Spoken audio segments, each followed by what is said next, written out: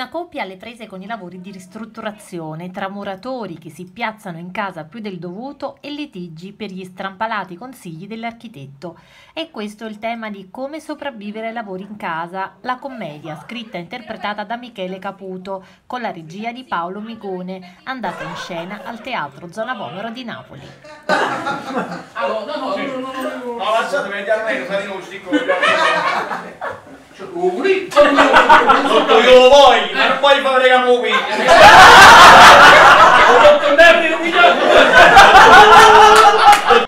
Come sopravvivere ai lavori in casa è una divertente commedia che mette sotto la lente di ingrandimento un rapporto a due e gioca con il tema dell'incomunicabilità e delle incomprensioni di coppia, portando in scena tutta una serie di situazioni paradossali. Marcello, ma...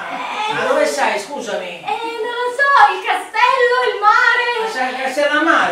Capodimonte allora, così passato per Gragnani. Sul palco ad affiancare Michele Caputo, protagonista di recente di una delle puntate della fiction I bastardi di Pizzo Falcone, la bella attrice e cantante Benedetta Valanzano nelle vesti di una moglie puntigliosa, Vincenzo De Lucia nei panni di un architetto con i suoi lampi di genio e Yuri Monaco, l'operaio dalle mille risorse. Ma lo sapete che ora mi sono svegliato stamattina?